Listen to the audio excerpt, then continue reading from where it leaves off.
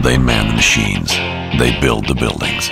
They keep factories humming, oil flowing, and planes flying. They work at airports and seaports, rigs and plants and power stations.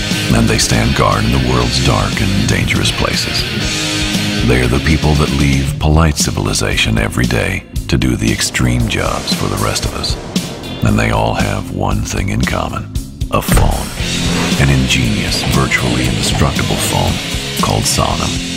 For workers and enterprises in mission critical industries, toiling in environments more extreme than serene, Sonim guarantees the triumph of communication. Communication through dust and dirt, grease and water, Arctic freeze and Sahara heat, vibrations, reverberations, and abuse. Sonim phones go where no phone has ever gone before because they endure challenges that would consign ordinary phones to oblivion. An excruciating set of benchmarks called Sonim Rugged Performance Standards. For five years, across 50 countries, these standards have propelled Sonim into leadership of the rugged category, the category we invented.